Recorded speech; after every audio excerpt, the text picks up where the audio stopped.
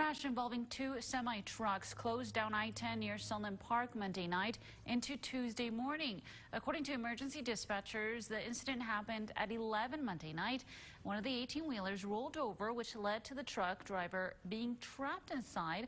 El Paso Fire Department confirming that the trapped driver was a 30-year-old man who was stuck inside the vehicle for several hours. According to the fire department, another person was transported with minor injuries. As of now, eastbound continue to be shut down.